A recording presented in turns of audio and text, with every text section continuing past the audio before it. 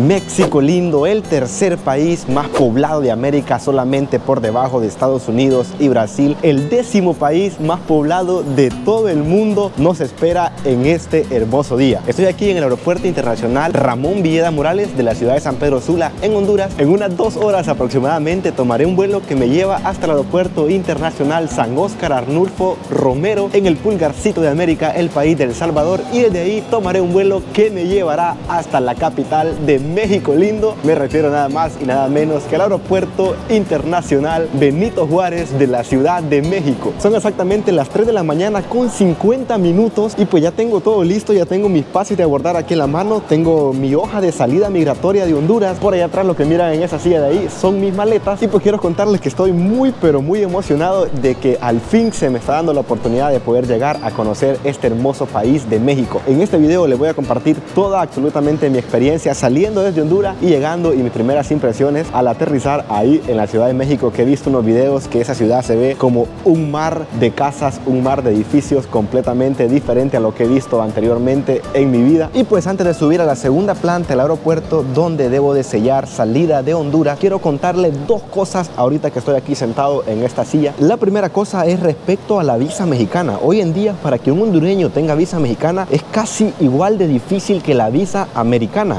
la visa en los Estados Unidos. Entonces, si ustedes están preguntando, Joel, ¿cómo hiciste para sacar la visa? Se lo voy a resumir así fácilmente.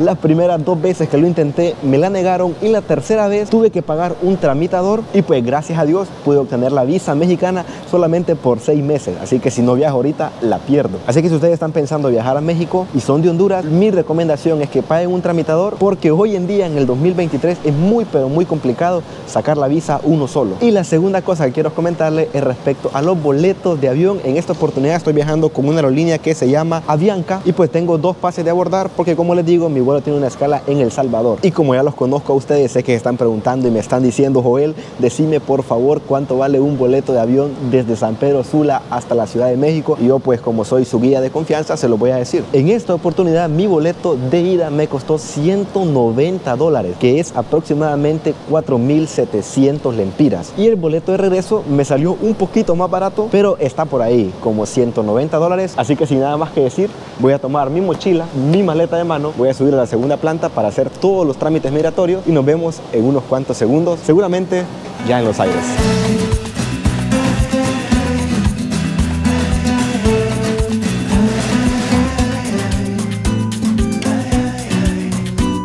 Amigos, nuestro primer vuelo ha sido completado exitosamente, gracias a Dios. Es un vuelo súper corto, es más lo que se tarda en despegar el avión y en aterrizar.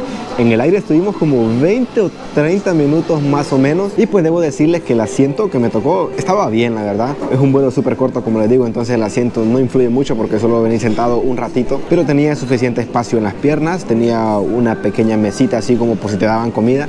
No nos dieron nada de comida porque era un vuelo corto y lo que más me gustó del vuelo fue el tremendo amanecer que tuvimos. Es la primera vez en mi vida que amanezco en un avión por encima de las nubes. Se mira increíble, completamente hermoso. Ahorita pues estoy sentado aquí en un comedor esperando que me traigan una tacita de café. Estoy justo enfrente de la puerta que me toca tomar el próximo vuelo. Y pues si estamos en El Salvador, no hay mejor desayuno que tres pupusas revueltas. Pues con su permiso voy a disfrutar de estas deliciosas pupusas de quesillo con chicharrón.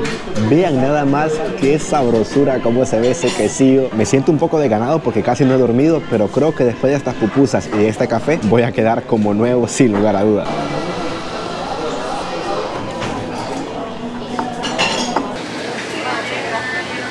Mis queridos amigos, en este preciso momento estoy haciendo mi abordaje a mi segundo vuelo y último vuelo por este día que me va a llevar directamente a la Ciudad de México. Ahorita voy caminando por este túnel que me lleva directo al avión.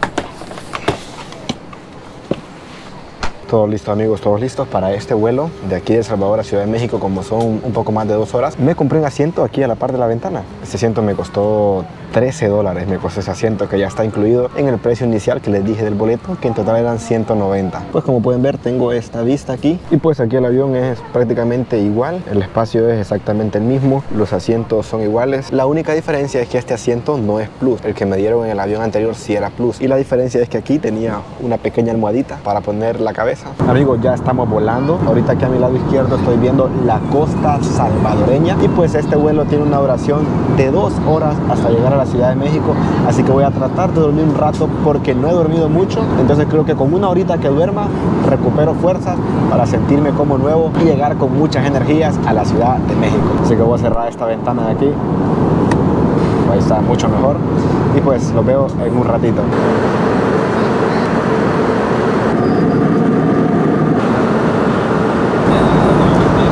Amigos, me complace informarles que hemos empezado el descenso sobre los aires de la Ciudad de México. Normalmente el descenso dura como 25, 30 minutos más o menos, pero me alegra porque ya estamos sobrevolando los aires mexicanos. Vean nada más todo lo que estoy viendo desde aquí.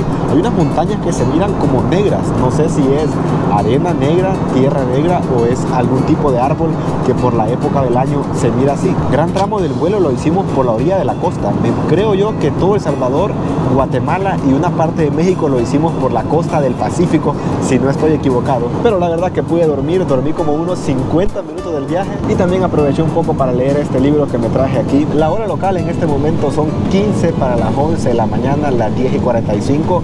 En esta época del año México tiene exactamente la misma hora que Honduras, pero hay una época del año donde la hora cambia una hora de diferencia. Entonces no me veo en la necesidad de adelantar un poco mi reloj, sino que va a quedar de la misma manera. Acabamos de aterrizar en el aeropuerto internacional Benito Juárez de la Ciudad de México. Este es el aeropuerto número uno con mayor tránsito de personas de toda América Latina. Para que se hagan una idea, el año pasado, el año 2022, durante todo el año pasaron por este aeropuerto 43 millones de personas. Prácticamente cuatro veces la población de Honduras pasó por este aeropuerto el año pasado. Y se estima que cada día pasan aquí alrededor de 90 mil personas en un día normal, en un día de tráfico rutinario. Y pues ahorita voy aquí caminando a migración para hacer trámites migratorios. Y pues en cuanto a mi experiencia en la aerolínea, debo de decir que este último avión que tomé, el asiento no se podía recostar. Así que pude descansar un poco, pero fue un poco incómodo por mi cuello porque venía como muy derecho. Y también debo de mencionar que me sorprendió que en el, en el vuelo no dieron ningún snack,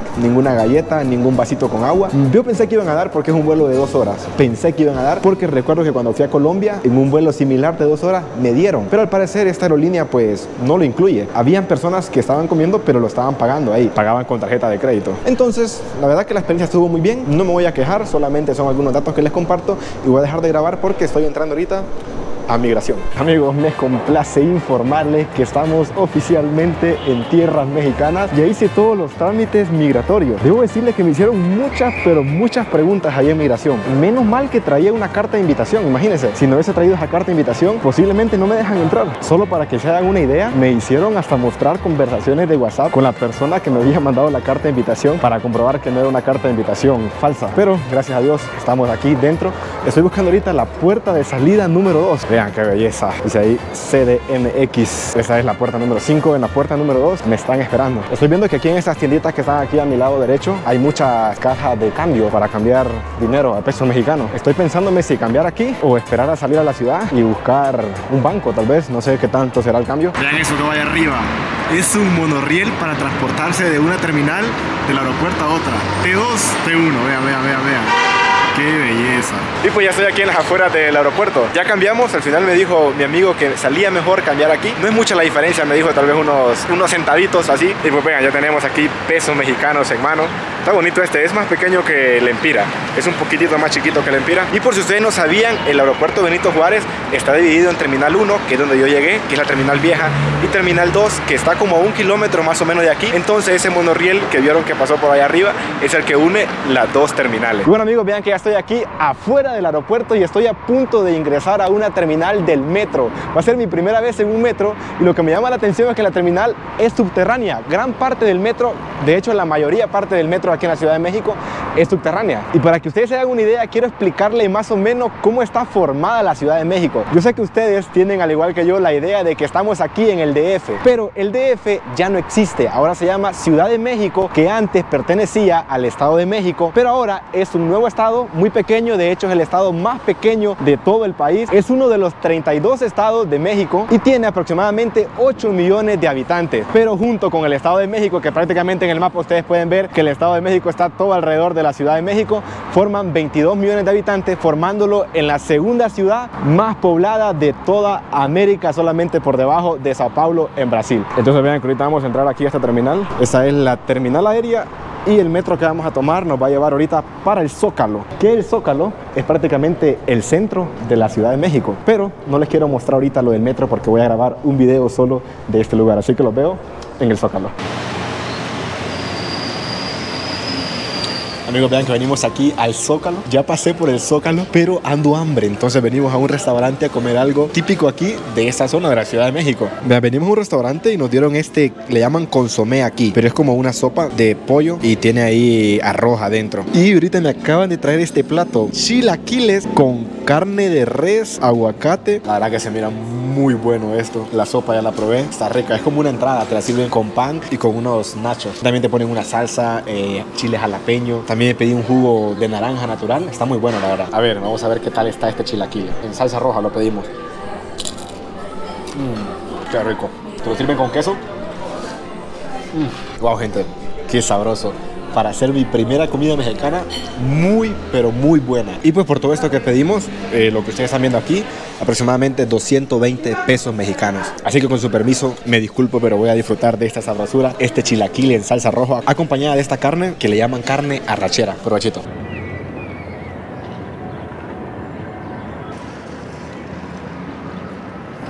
Quiero que observen esto. Esta parte de aquí es para entrar al metro esa es la línea 2 y esta es la terminal que se llama Zócalo y recibe el nombre porque precisamente esa terminal cuando ustedes salen de ahí aparecen aquí en esta tremenda plaza que es la Plaza de la Constitución o también conocido más popularmente como Zócalo. Esta plaza fue construida por los españoles, pero antes de que aquí llegaran los españoles, aquí habitaban los aztecas. Precisamente en esta plaza donde estamos parados, aquí era la capital del imperio azteca. Pero antes de que los aztecas vinieran aquí, esto era un lago. Cuenta la historia que los aztecas andaban buscando un lugar para sentarse y Dios les había revelado que el lugar donde encontraran una águila devorando una serpiente era el lugar donde ellos debían de vivir. Entonces ellos anduvieron caminando por muchos lugares del territorio mexicano hasta que llegaron precisamente al lago que había aquí donde encontraron la señal que Dios les había dicho que era el águila devorando una serpiente que es precisamente el águila que vemos en el escudo de la bandera mexicana. Y es por eso que los aztecas se asentaron en esta parte del país. Y fue aquí donde se construyó las primeras pirámides de los aztecas. Es decir, que en un tiempo en esta plaza, después del lago, habían pirámides de los aztecas. Pero tras la llegada de los españoles, esas pirámides fueron derribadas y se construyó estos edificios coloniales que vemos a nuestro alrededor. Justo por ahí, a este lado de la catedral que están viendo ahí enfrente, hay todavía los restos de algunas pirámides. Y se dice que con las pirámides que destruyeron fue que construyeron gran parte de todos estos edificios que están viendo aquí a nuestro alrededor. Y hace unos años esta plaza tenía el nombre de ser la segunda plaza más grande de todo el mundo. Hoy en día está en el puesto número 4, pero no deja de impresionar. Y pues en la actualidad utilizan la plaza para hacer muchas actividades, tanto políticas como también actividades culturales. Y cuando hay alguna protesta o alguna marcha aquí en la capital, pues esta plaza es la que se usa como centro. Y como pueden ver ahí está la hermosa bandera mexicana flameando en los aires y ese es el escudo del águila con la serpiente que es la historia que les acabo de contar. Estamos caminando ahorita aquí por una parte del centro histórico de la Ciudad de México. Ya el tráfico se empieza a poner un poquito bonito, la verdad. Este bus que está aquí, a mi lado derecho, es un bus de turista. Como pueden ver ahí arriba, van unos cuantos turistas, pero también están los otros turistas como yo que les gusta caminar. Vean nada más esta obra de arte que está viendo nuestros ojos, es el Palacio de Arquitectura. Me estamos fijando que gran parte de la arquitectura del centro histórico, por no decir casi el 100% de la arquitectura, tiene mucha influencia española. Y no solo eso, sino también que se nota un poco la influencia de los franceses, porque si ustedes no sabían, en un tiempo Francia invadió México. Y vean por ejemplo ese edificio de ahí, es un edificio muy colonial, pero así como ese hay muchísimos y son de tres pisos, es lo que me parece curioso. Y por todos lados en la Ciudad de México ustedes van a ver estos como resumideros que hay aquí en la calle, pero por allá abajo pasa el metro, entonces esto es como respiradero para los túneles del metro.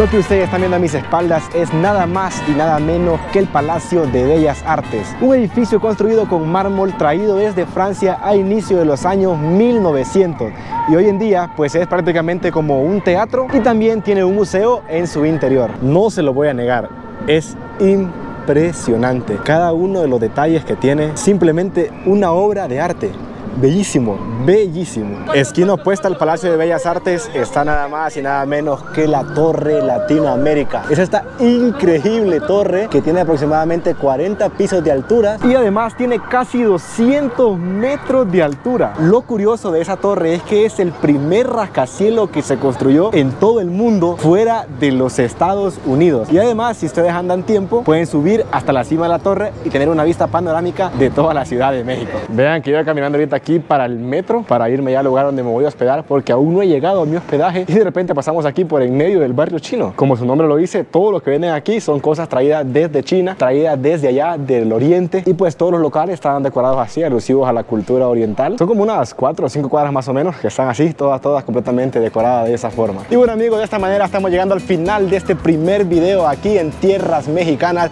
en el hermoso país de Estados Unidos de México. Saliendo de este barrio chino que me di cuenta que las cosas en el barrio chino son más caras que si las compran fuera del barrio chino. Y eso es porque es un lugar turístico, ya que el nombre barrio chino y todo eso viene mucha gente. Entonces se aprovechan de eso y venden las cosas un poco más caras. Yo los invito para que estén muy pendientes del canal porque estaremos un mes aquí en México lindo, creando mucho contenido tanto de Ciudad de México como otros estados que vamos a visitar. Si es primera vez que se pasan por aquí, suscríbanse, regálenme un like y nos vemos hasta la próxima. Chao, chao.